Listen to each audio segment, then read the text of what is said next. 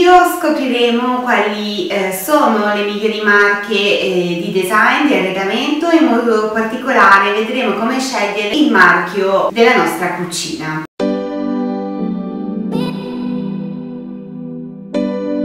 Ciao a tutti e bentornati sul mio canale, benvenuti in un nuovo video. Io sono Chiara e sono un interior designer. In questo video parleremo delle caratteristiche che eh, determinano un brand di qualità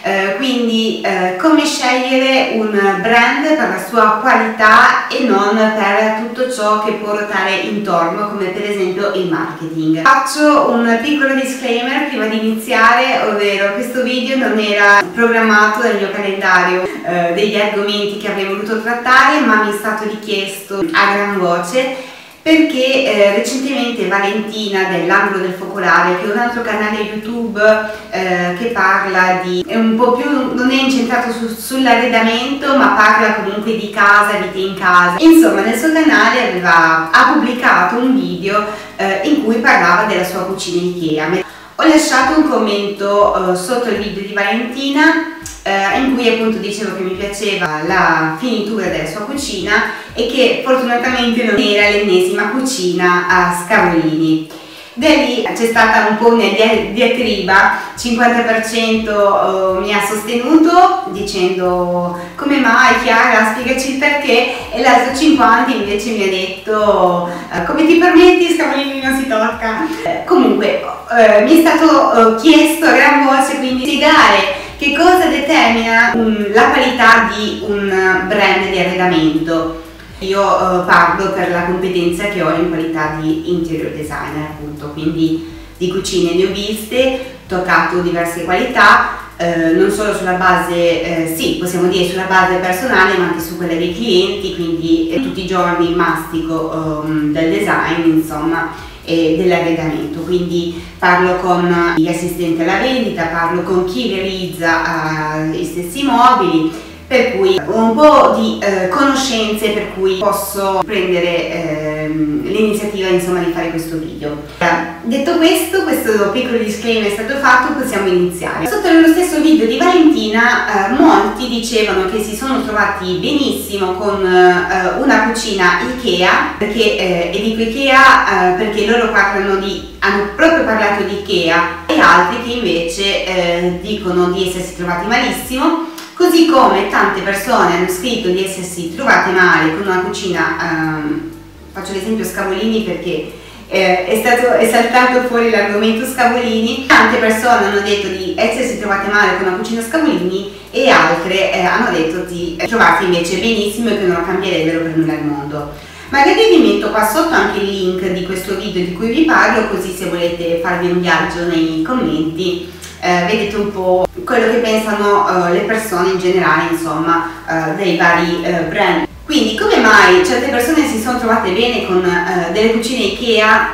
pagate pochissimo e altri che invece si sono trovate male e altre persone che addirittura si sono anche trovate male con una cucina scavolini. Poi posso per esempio parlare del mio caso. Io ho una cucina eh, che ho pagato 800 euro in un negozio um, che vende del bricolage, una cucina completa con uh, lavabo, con uh, i pensili, le basi, elettrodomestici tutti Beko, una cucina a base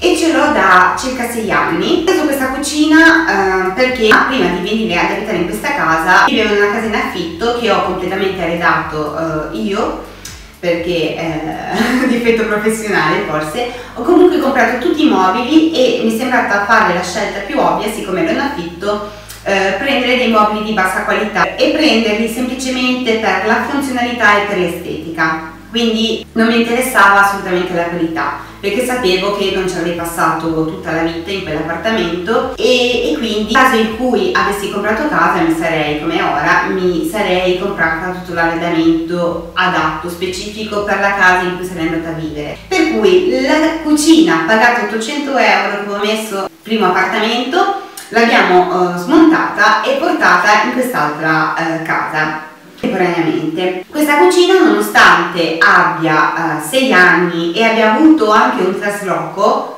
è perfetta, tutto funziona alla perfezione, non c'è nulla di ligato, Uh, sì, il top non è eh, proprio in condizioni ottimali, ma uh, comunque presenta ancora bene. Tutti ancora continuano a farci complimenti per la cucina. Uh, cioè, io che eh, sono nell'ambito dell'arredamento, magari vedo i difettucci, vedo che magari non ci sono le cerniere ancora proprio perfette, che magari non so quanto tempo ancora possano vivere, possano resistere, ma comunque ha i suoi anni e ha il suo vissuto appunto. Quindi eh, io mi sono trovata bene con una cucina super economica. Ma perché questo? Perché io non sono una persona che passa tutto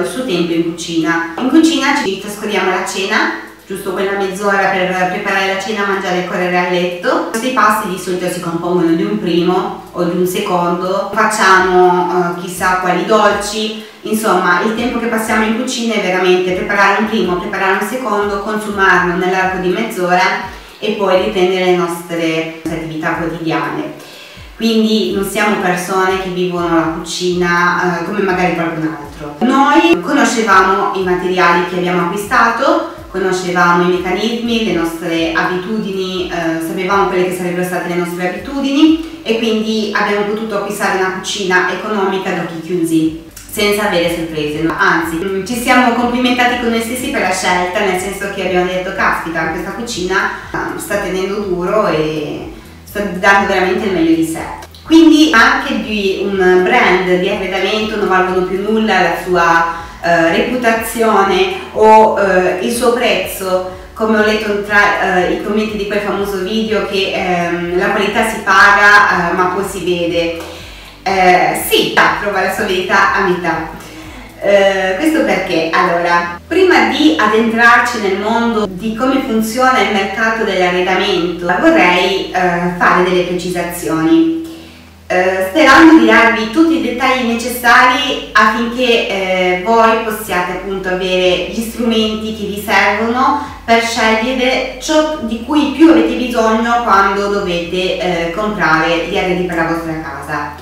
Allora, prendete sempre, tenete sempre in considerazione il fatto che non sempre i venditori, eh, gli assistenti alla vendita di un negozio di arredamento siano delle persone qualificate. Non tutti sono interior designer, non tutti sono architetti e purtroppo spesso eh, non tutti conoscono quello eh, che stanno cercando di venderti ovvero uh, non conoscono uh, tutte le caratteristiche del materiale che, stanno, che ti stanno proponendo, eh, non tutti conoscono uh, i meccanismi delle ante e come andranno a, a reagire con l'usura nel corso del tempo. Uh, vorrei sapere se chi, chi ha comprato, uh, torniamo sempre all'esempio della cucina, uh, delle cucine, quante persone vi abbiano chiesto di parlare delle vostre abitudini. Questo, il fatto di discutere delle abitudini in cucina, del fatto che si passi tanto tempo, si passi poco tempo, come si, ci si muove all'interno di una cucina, sono degli aspetti fondamentali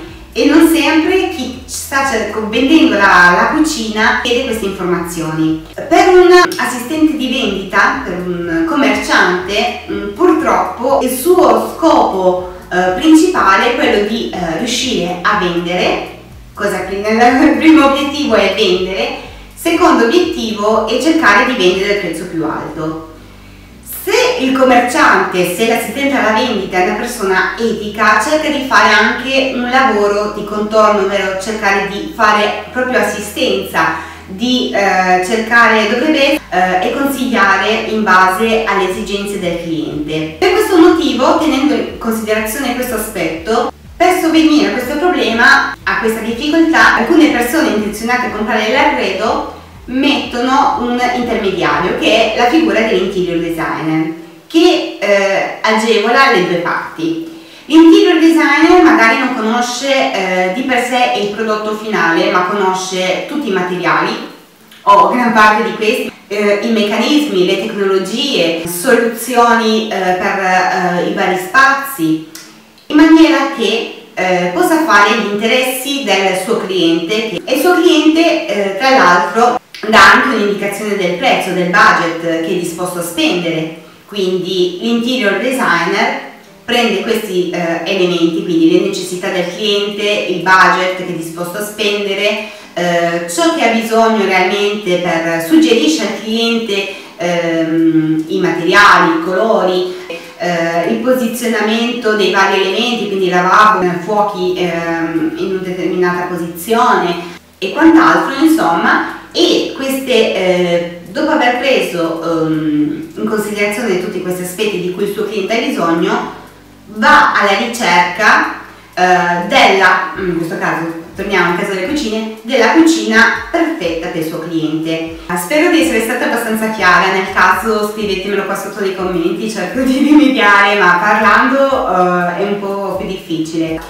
Uh, però vorrei farvi anche riflettere su un'altra uh, questione ovvero um, siamo noi, noi stessi, che ci facciamo un'idea del valore di un brand. Eh, ogni persona percepisce un brand in maniera diversa rispetto ad un'altra persona in base alle esperienze accumula nel corso della vita.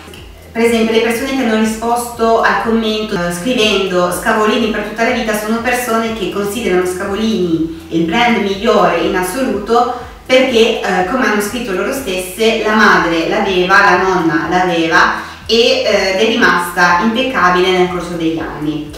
Per altre persone è stata la stessa cosa con il brand IKEA. Quindi noi diamo un valore ad un brand secondo quello che è stata la nostra esperienza. Loro hanno avuto, probabilmente queste persone hanno avuto esperienza solo con il brand Scavolini. Ovviamente un interior designer ha esperienza con diversi brand eh, tantissime, vede tantissime cucine, tocca la qualità di tantissime cucine e quindi può parlare a nome di eh, tutte, eh, tutte i brand che compongono eh, il mercato, o quasi tutte comunque, una buona parte. Anche io ho tantissime esperienze con clienti che eh, mi chiedevano solo cucine scavolini. Per favore, per la mia casa vorrei una cucina scavolini, perché pensiamo che sia la migliore sul mercato. Scavolini è un'ottima marca, appunto, che continuo a ripetere, ma perché tutti mi chiedono Scavolini per il lavoro di marketing che fa ovvero è sempre sulle riviste, sempre in televisione, fa continuamente campagne di marketing, pubblicità, per cui eh, è entrata, come vi parlavo prima in base de, riguardo alle esperienze,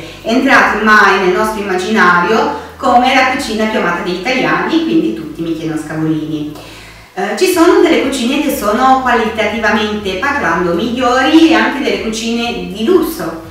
eh, ovviamente ehm, bisogna sempre prendere in considerazione diversi fattori quando si cerca eh, la cucina ideale per noi, quindi budget, funzionalità ed estetica. Ci sono linee di arredamento di eh, fascia eh, medio-bassa,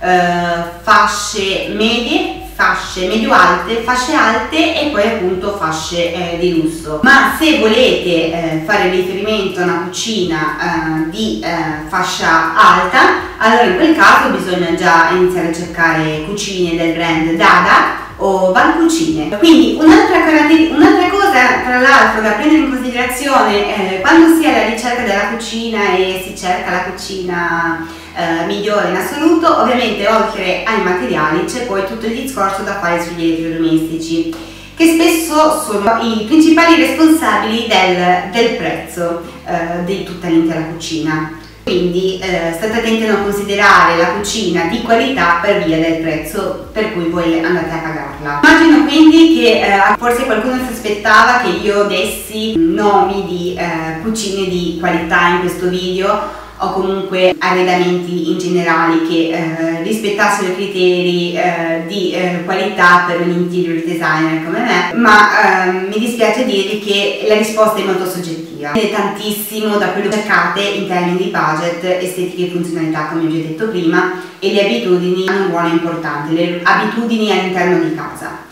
quindi solo uh, una consulenza personalizzata uh, può aiutarvi con un interior designer, mi raccomando, non con un assistente alla vendita, può aiutarvi, indicarvi la soluzione ideale a voi, eh, dirvi quello che per voi dovrebbe corrispondere la qualità, la soluzione al miglior rapporto qualità-prezzo. Sia le cucine di alta qualità, io vi ho detto quali sono secondo me, anche secondo tantissimi altri professionisti, secondo me potete anche fare una ricerca online e vedrete che eh, dalle varie cucine sono quelle che ehm, per il rapporto qualità-prezzo sono comunque considerate eh, di una fascia alta. Mi raccomando quindi eh, Ikea e Scavolini non sono gli unici brand che producono cucine, abbiamo anche altri brand qualitativamente ottimi, sempre secondo eh, i criteri eh, che vi ho espresso in questo video e per esempio Ci sono Stosa, c'è Veneta Cucine, c'è Berloni, Feber e Snaiero, che hanno anche loro un ottimo rapporto qualità-prezzo. Forse per chi cucina più di me possono, possono andare bene.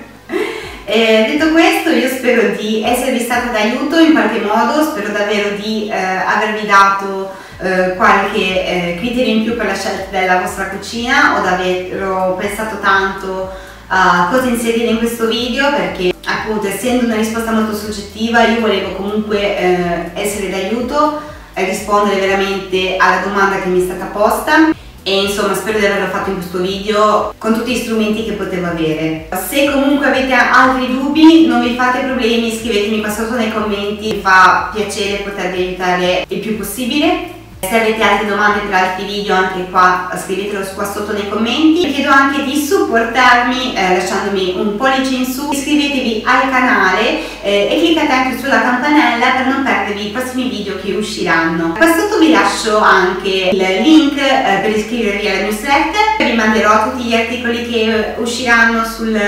sul blog sempre a tema di arredamento con altri consigli. Mi raccomando andatevi anche a seguire su Instagram dove pubblico uh, contenuti uh, quotidianamente. Vi do arrivederci al prossimo venerdì alle 14.30 con un nuovo video. Ciao!